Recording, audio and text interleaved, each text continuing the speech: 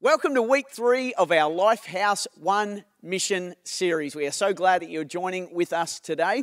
I am so encouraged, or I was so encouraged by the message that Phil Strawn brought last week. Not only was it a thrill for C and I personally, as uh, Phil delivered that message from inside the new Lifehouse Moree building, which is getting so close to being ready that when COVID restrictions finish, I'm so excited for the church that's going to be gathering there. Not only was that exciting, but the message he delivered as we go. What a prophetic word to speak about not only the church in Moree, but this is our mandate as life as Lifehouse Church. We are an as you go church. Taken straight from Matthew chapter 28, verse 18 and 18 to 20, the mission that God gives us through Jesus. He says, I've been given all authority in heaven and on earth, therefore go and make disciples. Or as Phil brought out, as you go. Whatever your life consists of, wherever you're going, whatever you're doing, as you go, take the message of life and hope with you so that others may also receive it. You know, Lifehouse, we have been given a specific purpose for being on this earth. Today, as we step into week three of uh, this series, I want to dig deeper into that and how it relates to the mission that we've been given. In week one of this series, I uh, reminded us that our personal motivation for mission is directly connected to our personal revelation of the grace that God has given to each one of us. The more that we are personally aware of what God has saved us from, the more excited we become about what God has saved us for. When we know what He saved us from, we are eager to know well, what has He saved us for? What is this mission? The more we cherish what God has done for us, the joy He's given us, the life He's given us, the hope and the peace, and you can just go on to continue to list the things that He's given us. The more you personally know it, the more you want others to discover it for themselves. Today, we're going to move from this being the source of our motivation and we're going to talk about the way we bring it to application. Because we don't just want to be people who are stirred in our hearts about something, we want to be people of action. We don't just want to be people uh, of purpose that's internal. We want to be people who are applying that purpose with the life that we have been given. So let me ask you this question as we begin to dig a bit deeper. How does our society measure value? When you walk down the aisle of the grocery store that you go to, how is each item in that store valued? Or maybe as you're flicking through uh, the, the, the, property or looking through property, uh, how, how is each property that's listed, how is it valued?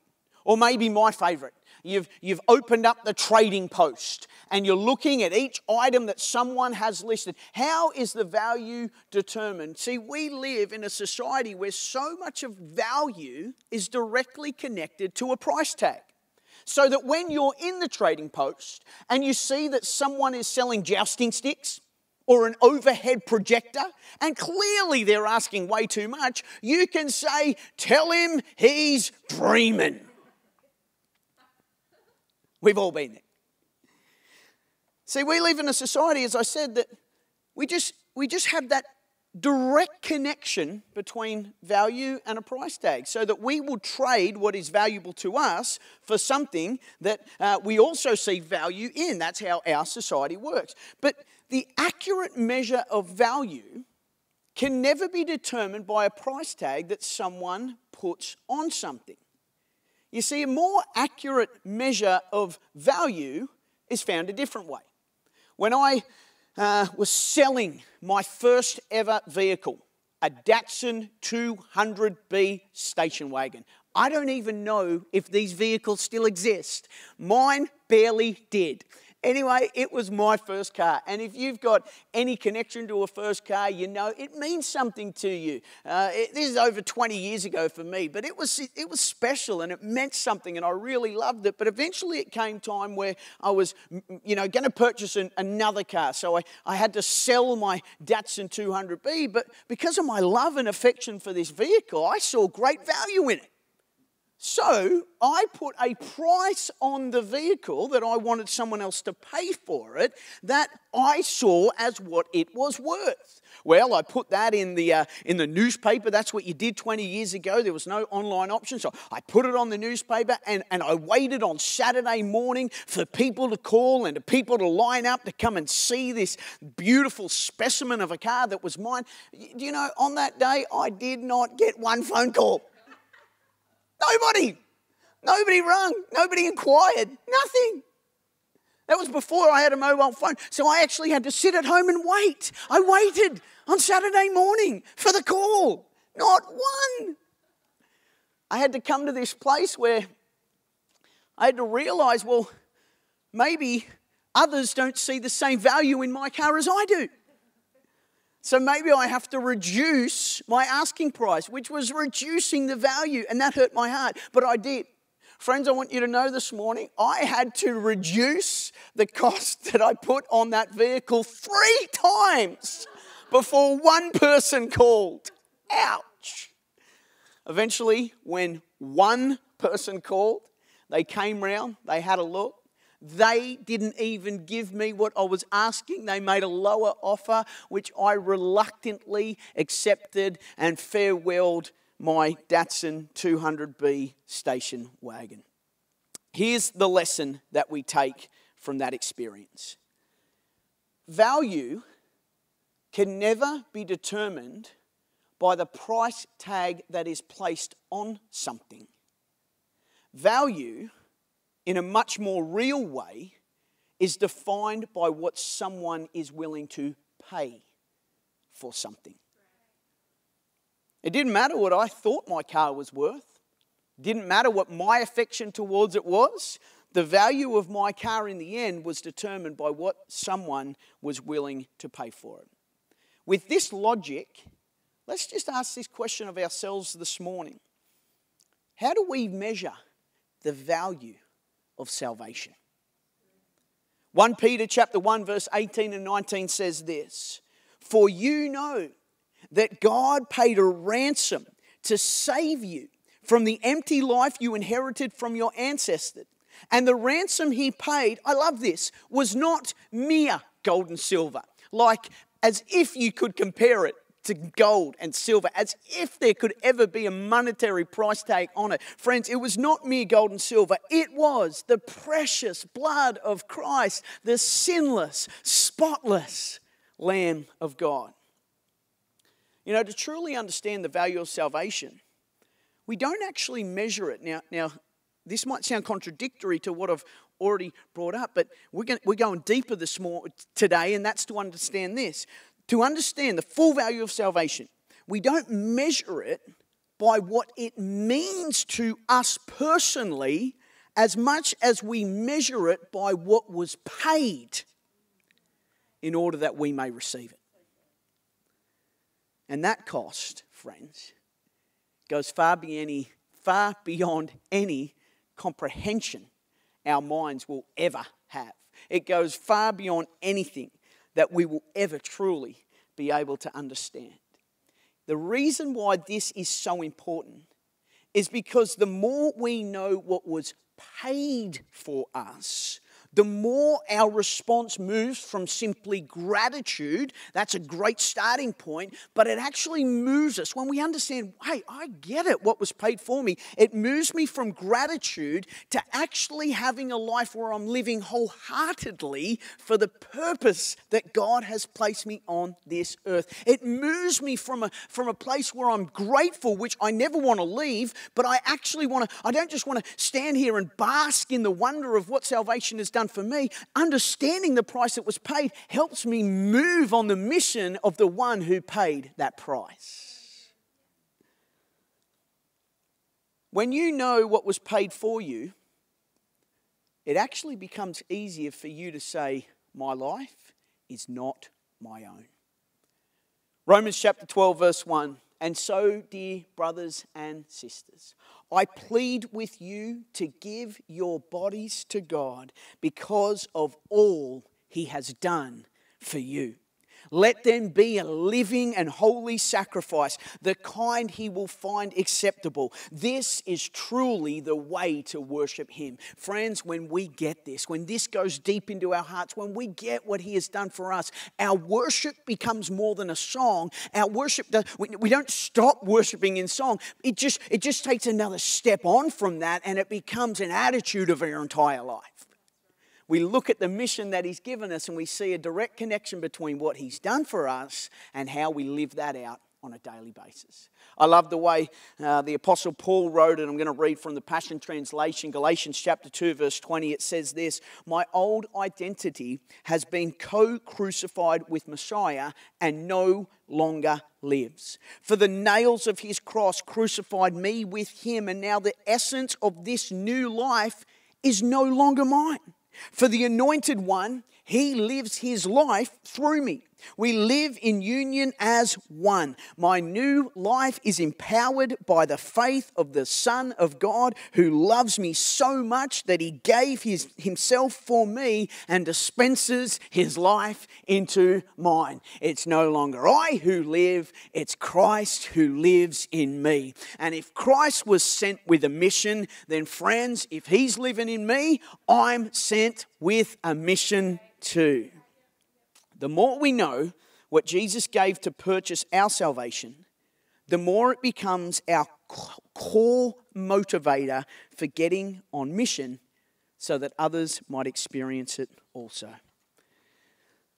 This is what enables us to passionately pray, which we've spent time doing in a, in a 24 7 week. It's just so special. This is what enables us to eagerly go in every space that God has allowed us to be a part of. And today, our focus, this is what enables us to freely give so that the gospel can reach far beyond the spaces and places that we ourselves are able to go. You know, I know that this is an area that as soon as you start talking about giving financially, it, it, it brings, it enters a space in, of tension for some people. And so I want to uh, just briefly talk about that this morning because Christ never came so that in this space you would live in tension. He came so that in the space of finance you would live in freedom. And so I want to encourage you this morning in, in how moving on the mission that God has given you, giving into the mission that God has given you, is actually directly connected to living in freedom in this space of your life. You know, when my children were little, I constantly found myself, uh, unwittingly, not, not purposely, I constantly found myself worried about them.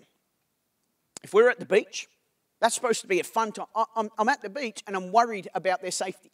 When we're at the park, I'm worried about their safety. When they're having a, a, a, friend over or they're with a friend, I'm worried about their safety. And I, I, began to realize hey, this parenting thing, I thought it was supposed to be a bit more joyful than this. I thought there was, I thought you were supposed to love this time. And, and, and I came to this point where I just said, I, I actually, I don't want to live this way. So I went and spoke to my mum. She raised five children, four of those were born in India, and I just assumed, hey, mum, if you brought us up in a space, you know, that uh, by safety standards, if you've been to India, are, are a lot less stringent than in Australia, uh, how did you live, mum? How did you live not constantly worried about us? For instance, one day my sister fell out of a moving auto rickshaw. Okay? An auto rickshaw is like a, a, little scooter with a pretend house around it. it. It's not the same as Australia. I'm thinking, Mum, how did you survive with, without like just constantly being so fearful about what would happen to us as kids? I love my mum's response. She said, the way I was able to live free in raising you kids is that in my heart I knew that you weren't mine. Now, pause for a moment, because when I first heard that, that was a shock. I beg your pardon, Mum? what, what my mum was saying is this when each of us were born, she took a moment with God where she said, I thank you, God, for this life that you've given to me. But I realize this life that you've given to me, it's not mine. This child, I'll speak about myself, he's yours. So I will raise him in the best way that I can. I will raise him in the way that you've instructed him to. But God, you're the one that's going to carry the burden.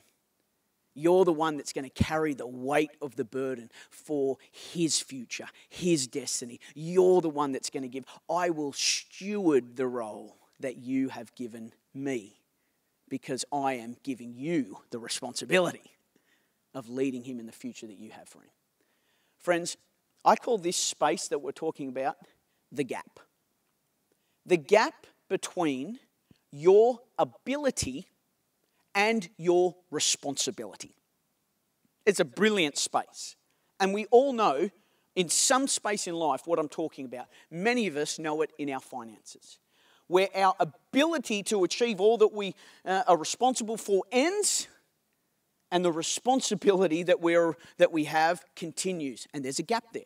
My ability takes me this far, but my responsibility is way out there, friends. There's a gap. You know, there's, a, there's a, one of my favorite pictures. I'm going to bring this into land with this, this story. One of my favorite stories in the Bible is the, the feeding of the 5,000. It's called, as we know, men, uh, women, and children. There was many more than that. But there's this young fella that uh, comes to Jesus, and the disciples bring him along. They say, Here, we've got this boy, and he's got five loaves and two fish.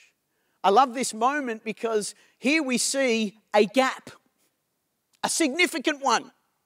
A whole uh, countryside, a whole uh, side of the hill, a, a whole hoop, a whole hoop, a whole heap of people who are hungry, and a young fella who's got a little bit of ability. And he walks up to Jesus and he says, I don't carry what's necessary to carry in order to fulfill the responsibility of feeding these people. But I'll bring what little ability that I have and I'll place it into your hands. Here's the gap. When we enter the gap, it becomes one of the most faith fulfilling, life giving, soul enriching, freedom sources that you can ever experience. Friends, many of us are trying to fulfill all that we're responsible for without letting God into the gap. When you commit yourself to stay on mission, including through your financial giving, you are inviting God into your gap. You are saying, I will continue to place the, the fullness of my ability into your hands so that you might fulfill all the responsibility that I have. Philippians 4:19 Paul says the same God who is uh, paraphrased in my, my words the same God who has looked after all of my needs he's going to look after yours as well the same God that I have lent on as my responsibility has gone far beyond my own ability He's the same God that's going to meet you in that gap as well. Friends, can I encourage you? If you want to experience a miracle in your own life, keep engaging in the mission. Keep putting yourself in a, in a position where God must come through to close that gap. It is an enriching way to live, it's a freeing way to live. It takes the burden off our backs and it places that full responsibility on the one who is able not only to carry it, but as the Bible says, to meet all our needs. As we give today, we're going to do this in a moment together as we give today to our one week for eternity, our, our, our, one week for eternity giving, and so that the mission can keep going in our own communities and into the nations of the world. I want to encourage you. Re- remember the value, remember the price. Remember, your life is not your own. You are God's. And from that place, let's take all that He has given us to steward and point it into the direction that builds the mission. Heavenly Father, I thank you so much that you're a God full of grace, love, hope, peace, joy, all of these incredible things that without you we can't conjure up ourselves. We can't produce these things on our own. They are all a reflection of you and being made in your image and brought to life through the sacrifice Jesus made for us and the infilling of the Holy Spirit that we carry. Lord, I thank you so much for the mission that you have given us. Lord, I ask that we would continue to be a people that would not lose focus on uh, stepping out in this area of finances so that we might continue to see the mission advance through what you have given us to steward in our finances. Lord, our lives are not our own, our lives are yours. Use them, God, for your glory and to fulfill your mission on this earth in Jesus' name. For all those that are joining us this morning, and you personally in your life, you know, I talked about the gap there. You've been trying to fill that gap yourself. In fact, you would say uh, uh the gap is never ending because you've got nothing to, to, to bring into that space where this morning I was talking about, hey, you can, you can meet God in that gap. And what I want to say to you this morning or today, whenever you're watching this, is God is in that gap for you right now. The choice is yours to receive Him. The Bible says that the way we do this is we must first renounce the life that we've been living, the life that we've been choosing, any uh, sin. And if you if you want to know what uh, a good description of sin, it is anything that causes that gap between you and a loving God to increase. That's all it is. It, it, it, takes you further and further away from the power that God has to bring about all of those incredible things into your life. The Bible also says that we close that gap in an instant when we turn from those things and we say, we repent. The Bible says we turn from those things and we give our life to Him. I'd like to lead you in a prayer this morning. The Bible simply says this is how you begin your journey of discovering just how much God can bring into your life that will transform you. Why don't you say a prayer like this? Say, Jesus, thank you for all that you have done so that I might know the true value that you see in me. Today, I turn away. I repent. I say I'm sorry for all of the actions that I've had in my life that have been lived out of my own desire. I give my life to you today. Jesus, my life is no longer my own, my life is yours. In Jesus' name, amen.